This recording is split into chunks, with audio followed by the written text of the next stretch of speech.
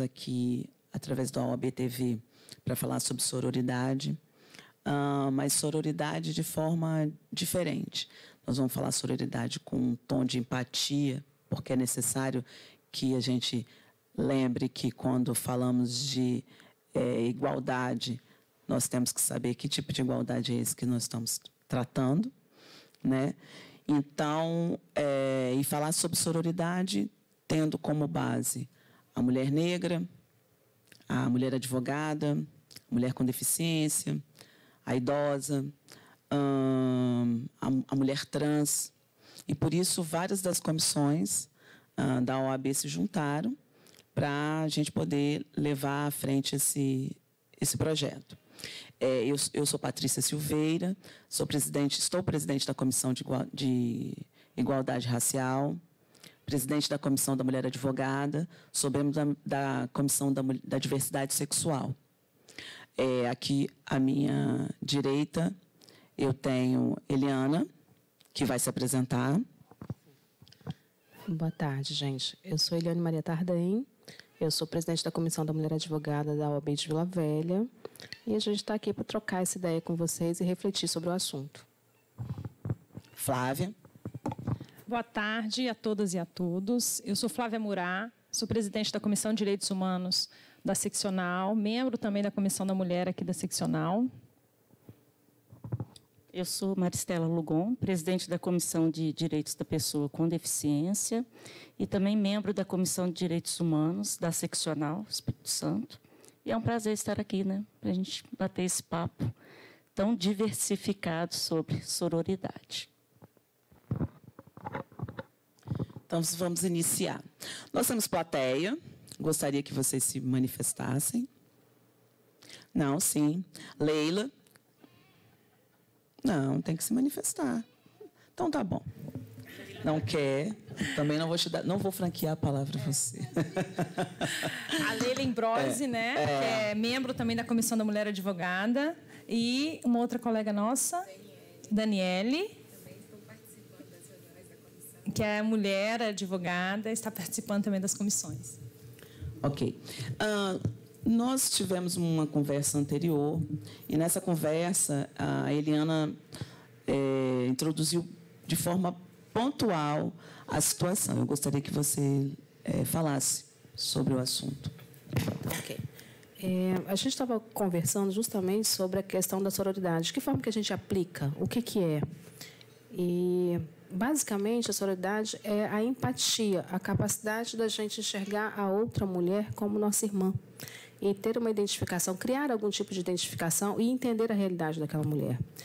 Essa, essa projeto que a Patrícia trouxe para a gente, para a gente pensar, veio justamente da percepção de que a mulher estava enxergando como, como, como irmã, criando essa empatia apenas entre a sua igual.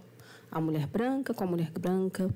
E a gente estava esquecendo de olhar e criar esse ela, essa empatia, com a mulher que é diferente da gente eu sou branca, eu entender a realidade da Patrícia, entender a realidade de uma mulher, de uma mulher é, com, com, com, deficiência ou de uma outra pessoa com deficiência, entender a realidade de uma mulher trans, de uma mulher com orientação sexual diversa da minha.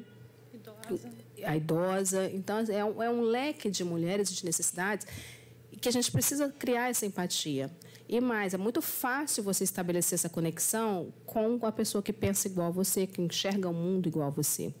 O grande desafio, e aí é um exercício, é você estabelecer essa conexão com a diferente. Com a mulher que tem um temperamento diferente de você, com a mulher que enxerga um mundo diferente de você, com a mulher que tem até ideologia política diversa da sua.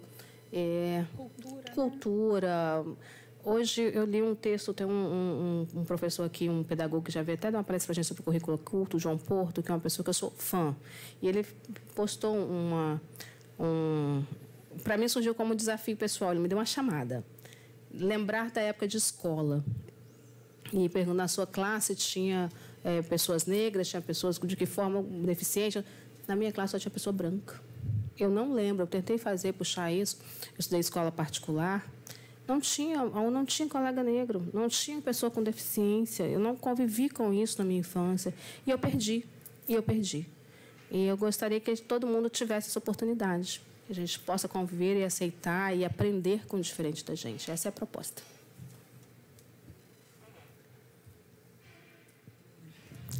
Eu vejo a importância da sororidade é, no universo das pessoas com deficiência é, por causa das mães, né?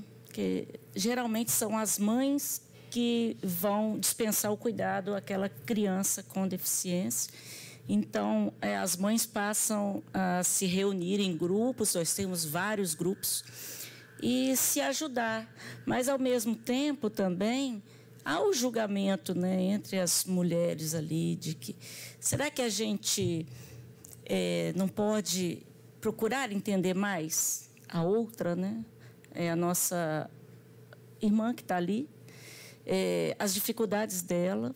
Eu tenho nesse universo é, negras, mulheres negras, às vezes mulheres com deficiência, com crianças e filhos com deficiência, é comum ou às vezes uma mulher com dois ou três filhos com deficiência, e esse universo dela é extremamente particular.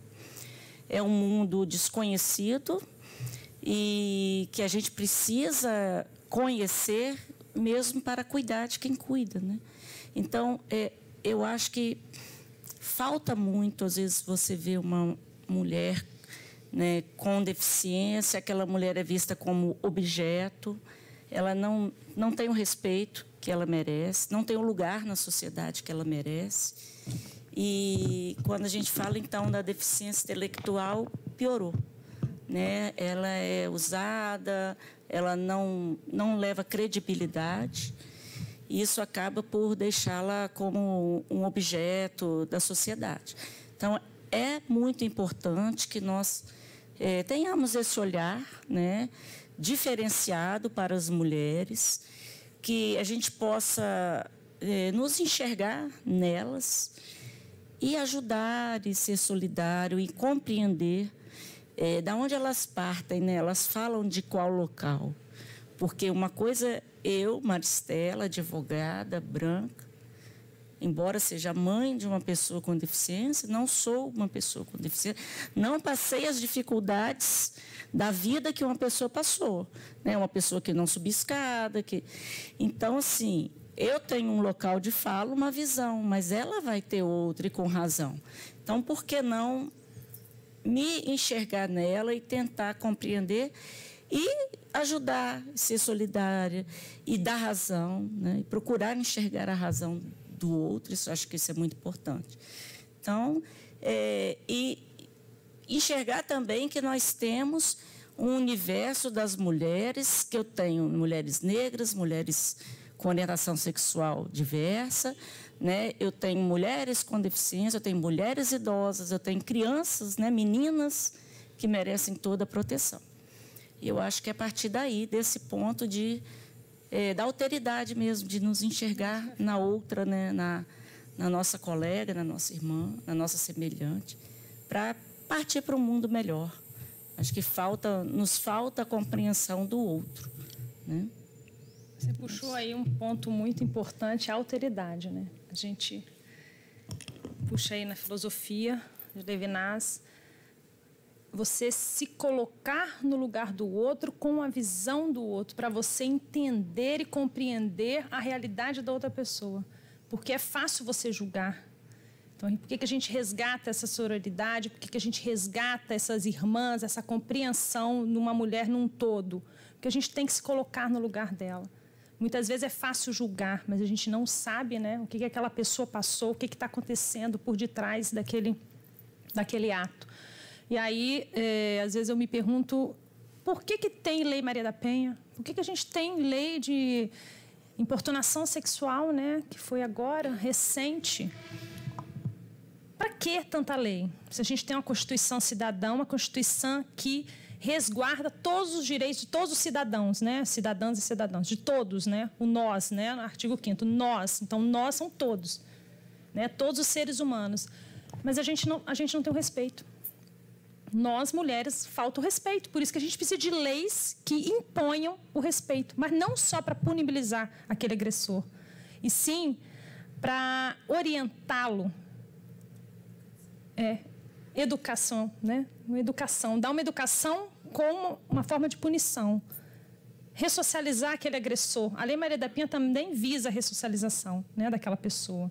não só uma punição, porque não adianta eu punir, eu vou punir hoje, amanhã ele vai novamente cometer o ato. Então a gente tem que entender todo esse contexto que a gente vive. E aí eu lembro é, de uma frase né, da Simone de Beauvoir, que ela fala: Nós nascemos mulheres.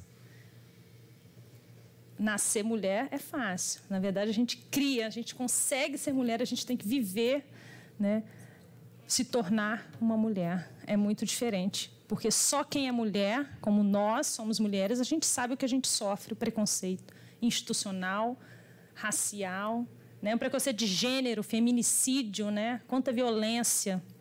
E aí eu estava participando de um curso de depoimento especial para crianças e adolescentes, né? De violação, né? Dos direitos, né?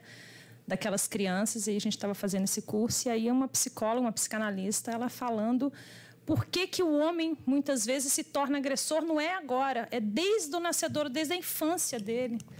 Porque ali na infância ele não, não teve a perda, aquele laço com a mãe que ele vai transferir para aquela mulher que ele casa. Então, ele vê aquela mulher como objeto e ele não pode ficar longe daquela mulher. Então, ele naquela criação, desde pequeno, então por isso que a infância, os primeiros anos da infância né, da pessoa, e aqui nós vamos falar né, do homem, que como um agressor, mas também pode ser a mulher agredindo outra mulher no relacionamento entre mulheres, que também vai se valer da lei.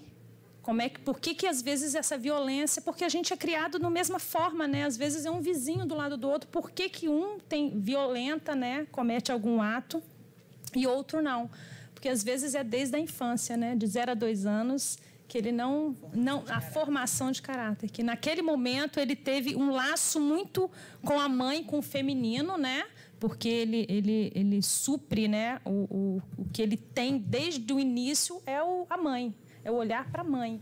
E aí, de repente, não tem uma lei ali, ou um pai que tenta quebrar esse. Não quebrar de destruir, mas sim de interromper de uma forma saudável, de, um, de uma terceira pessoa dentro daquela relação. Uma terceira pessoa, né? não um pai. Né? Sexo masculino, só a gente falando no, no, no gênero, né? E aí você tem todo esse contexto do nascedouro daquela pessoa. E a gente começa a ver a violação, o porquê disso interessante essas questões. É, o direito e a psicanálise têm uma aproximação, né? A gente acaba tratando dos sintomas da mente humana, do que traz. Ontem a gente estava discutindo lá em Vila Velha a questão da violência patrimonial. E a, eu conversando com a psicanalista que foi, a doutora Cláudia Prete, do IBDFAM, justamente essa questão. Eu tinha lido durante o dia, alguém postou, um rapaz postou num, num grupo no Facebook a seguinte frase: Homem que bate mulher merece e mulher que aceita apanhar merece. E aí as respostas foram assustadoras. Sim, em relação ao homem, pouco se falou. Essa mulher que aceita apanhar, gente, ela foi execrada e por muitas mulheres. E aí eu levei para a doutora Cláudia essa questão, né? Como é que a gente entende isso? Como é que a gente, porque a gente sabe que existem mulheres que ficam em relações, em relações abusivas anos, anos e anos e anos e não conseguem se desprender daquilo. E ela trouxe uma explicação é, da, por conta da psicanálise, é, que, que aquela mulher precisa de cuidado, precisa de tratamento, não de condenação, não de, uhum. julga, não de ser julgada. Alguma questão, alguma situação dela íntima, não foi rompida, e o homem abusador alimenta alguma necessidade é, que não é boa para ela, inclusive, dessa mulher, e essa mulher, se colocando como vítima, também a, a, alimenta um lado obscuro desse homem. Então, são pessoas que precisam de tratamento, tratamento. não precisam de julgamento. Essa, exatamente. E hoje, e por coincidência, eu recebi de um, de um primo de Colatina um projeto lá, Homem que Homem, que aqui também tem, e que eu achava que só tinha que só era em Vitória. Eu sabia que em Vitória da Araborgo eu sabia que tinha, mas eu achei que só atendia a Vitória. E hoje eu descobri que não, que atende a grande Vitória. E eu acho que pouquíssimas pessoas sabem disso. E a discussão é: caberia colocar na medida protetiva, é, encaminhar o homem para esse, para esse projeto? Mas aí o projeto tem algumas situações que precisavam de um determinado perfil. Esse projeto conseguiria abraçar todos os homens se fossem encaminhados? Na realidade, a gente tem um grande desafio, porque qualquer coisa que a gente trate dessa questão é uma manifestação cultural, social, íntimo, pessoal também. Você tem toda uma, uma questão que você tem que enxergar sob diversas óticas, né? Da polícia, inclusive. Você não, também não pode deixar porque determinadas Também questões não dependam. adianta só encaminhar. Você tem que conscientizar que aquilo é bom para aquela pessoa. De que porque forma você só trabalhar a isso? punição por si só não vai adiantar, né? Eu ainda acho que não é só. A punição por si só não adianta. Ela é, ne- é necessário, É sim esse encaminhamento. lógico. Né? E é necessário também que. É, porque de nada adianta ele terminar de. É, ele se afastar daquela mulher e começar um outro relacionamento. Então, é isso que nos interessa. Agora, voltando aqui à, à sororidade e empatia, eu acho importante a gente é, lembrar que, por exemplo, a gente só está falando. é, começou a falar sobre abuso masculino, né? Mas quem não teve um relacionamento com uma amiga que também é abusivo, né? Porque é, quando a gente fala em sororidade e empatia, a gente tem que lembrar disso também.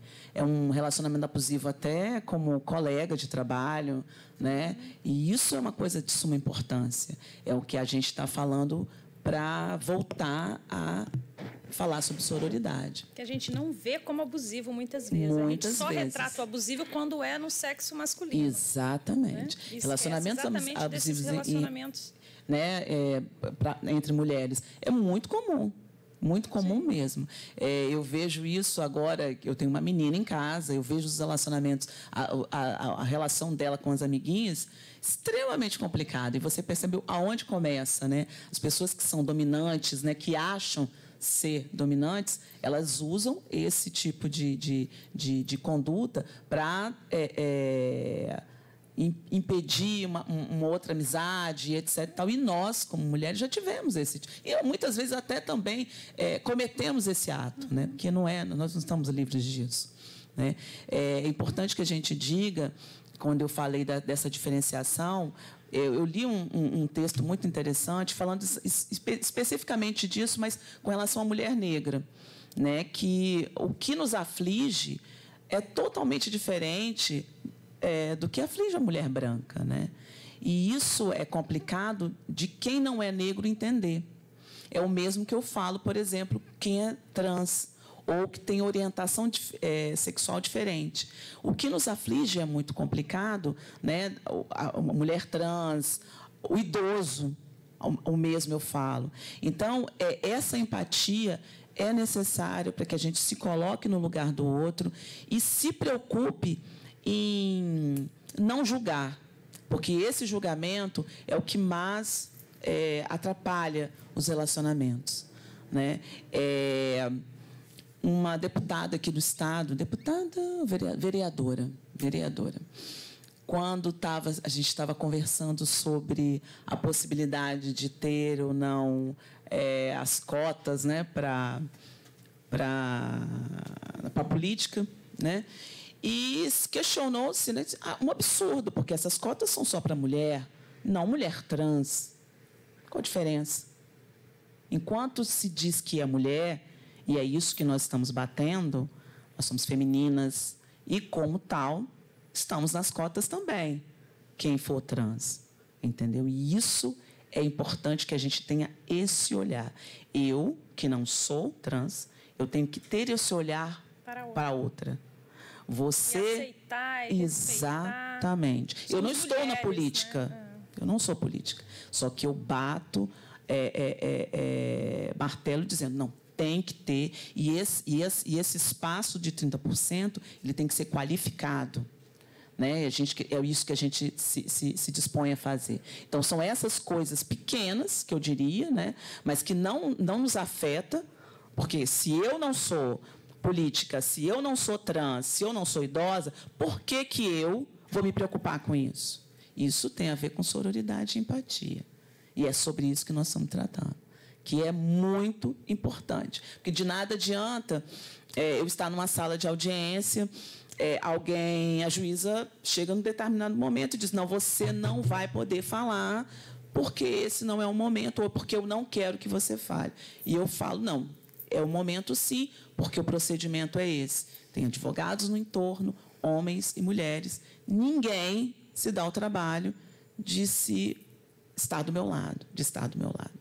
Isso é uma coisa muito séria quando acontece, e só quando acontece é que a gente percebe.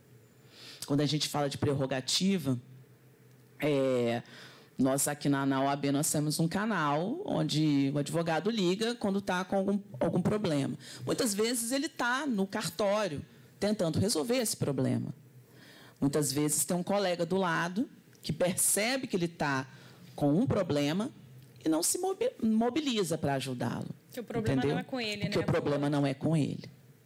E é isso que a gente está tratando. A gente está falando sobre sororidade, né? A gente sempre escapa um pouco, né? Porque não tem como. As palavras são é, o que a gente trata no nosso dia a dia. Está tudo muito ligado. Empatia é uma coisa muito séria que a gente tem que tratar é, todos os dias e toda hora. Você vê um colega passando por uma dificuldade e não se importar com isso é uma coisa assim absurda. Né? Você, a gente aqui na OAB já, já fizemos milhares de, de é, sessões de desagravo e a gente percebe que o judiciário imediatamente faz com que aquele juiz que foi agravado, é, que, que, sofreu o desagravo, né, é, seja homenageado. Né? Parece assim, ah, vocês estão fazendo? Então, peraí um instante. E é isso que nós temos que fazer. Agora, trazendo para a advocacia. A gente tem que se unir. Né? Não só os advogados, mas as advogadas. Nós temos que estar uma do lado da outra. Esse é, é, dar as mãos é de suma importância, né? principalmente se é, nós não tivermos é, uma, como é que se diz, é, não, eu não diria que na nossa casa a gente não tem essa, essa participação, mas a gente precisa ter esse, esse, esse espaço de fala. O lugar de fala, como Maristela falou, né? é muito importante, porque só nós sabemos quais são os nossos problemas, o que nos aflige. E a partir desse saber é que a gente vai trazer as proposições. É, Patrícia, mesmo porque é, a gente tem também é, uma mania de ver as coisas pelo nosso lado, né? Então, nós temos hoje no Senado a deputada Mara Gabrilli, que é pessoa com deficiência, né, com a tetraplegia, e ela já era deputada e agora foi eleita senadora. Então, a Mara é né, um exemplo de mulher com deficiência que ocupa um espaço que deveria ser mais ocupado por mulheres. Então, embora é, eu, particularmente, não concorde com algumas posições dela, mesmo por questões até partidárias e tudo, mas eu não, não sou polícia, não milito na política, mas eu admiro a Mara pela postura, por ela ocupar aquele espaço, por ela ter tido a coragem de lutar né, é, por aquilo, embora ela tenha também vindo de camadas sociais mais privilegiadas, mas ela é uma mulher com deficiência. Então, é, eu teço os elogios a ela, reconheço a capacidade dela de argumentar, de batalhar. Então, acho isso muito importante. É, ninguém tem razão absoluta, né? então a gente tem que batalhar para isso, até mesmo para que as mulheres ocupem espaço é, contrários, né? de oposição, para que enriqueça o debate, isso é questão até democrática. Então, eu acho que falta muito também isso né? nas mulheres. É, que bom que ela chegou, ela chegou. É lógico que é, quando a gente está numa sala de audiência, né, nós somos partes contrárias, né, o nosso é, ex-adverso, nosso colega que está ali, mas o respeito e a admiração deve permanecer. Né? Uma coisa é o argumento jurídico, outra coisa é o respeito e a admiração. E eu vejo faltar isso muitas vezes, né? o pré-julgamento que a gente faz, o preconceito, né? que é aquele conceito prévio que eu tenho de determinada pessoa ou de determinadas, determinados grupos, né, como incapaz, como é, menos inteligente, como de religião oposta. Então, a gente precisa aprender a enxergar. É uma, eu acho que é um exercício diário, igual você falou, um exercício diário. Uma conquista. Uma diária. conquista diária, um exercício diário. E, com isso, você também conquista o respeito de outras pessoas, não só das mulheres, mas de outras pessoas. Né? É importante que nós que tem, consegui, conseguimos enxergar um pouquinho isso, que a gente dê esse exemplo. Eu acho muito importante essa questão. É muito interessante isso aqui. É, eu acho importante que todo mundo tenha voz. Ah, você ouvir do outro, você tem uma a gente trabalha muito no direito de família escutativa, né? Você ouvir outro, ouvir realmente a história do outro. E eu vou falar, Patrícia, a gente teve um, um evento lá em Vila Velha, eu não lembro quando exatamente, acho que foi da Mulher Negra Caribenha, e foi na Câmara. Foi a primeira vez que eu, mulher branca, vi num ambiente público tanta diversidade. Tinha é, os, as mulheres pretas de, de matriz africana, e tanto orgulho de usar as suas vestes, que, que são próprias da sua cultura, com a questão também do, do candomblé, das, das questões, eu, eu, desconheço um pouco, mas assim, eu nunca vi as pessoas, tantas mulheres negras e homens é, dentro de um ambiente público com tanto orgulho de ser exatamente quem são. Aquilo, eu só te falar, me arrepio. Foi tão e bonito de ver. Né? Exato. Né? E custa nada, absolutamente nada isso.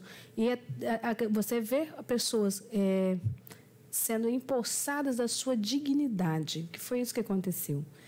É, é, tão bonito e é tão triste o inverso. É tão triste quando a gente, no dia a dia, vê alguém sendo tratado de uma maneira indigna, de, de, diminuída enquanto, enquanto ser humano. E a gente precisa trabalhar isso. Que tipo de sociedade a gente quer construir, né?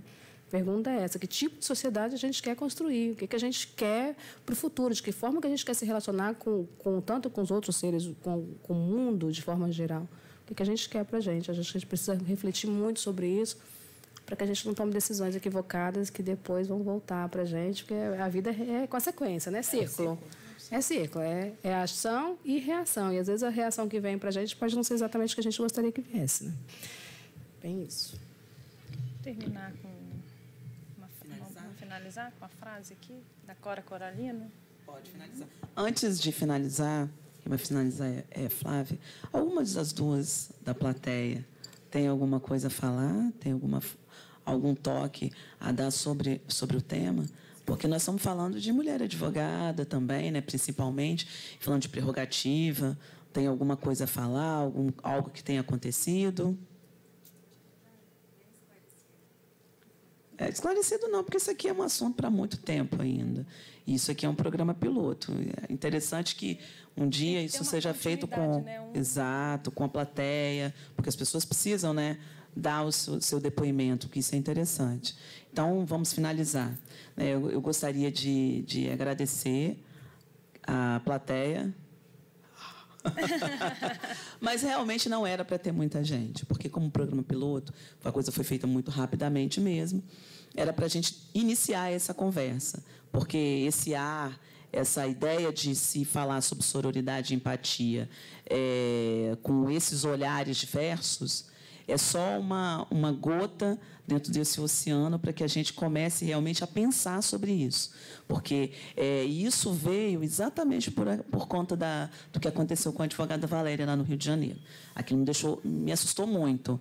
Eu achei assim um absurdo, né? É, a conversa toda, não, não, não que ficou decidido nos tribunais, mas especificamente a atitude dos advogados que para com ela, que estavam presentes.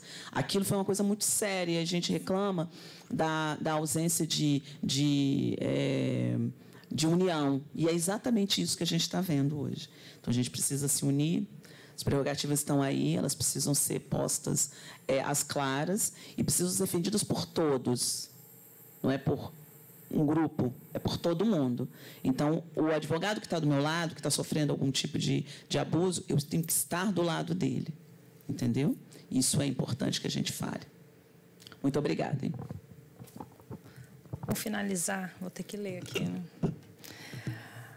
Cora Coralina, eu sou aquela mulher a quem o tempo ensinou.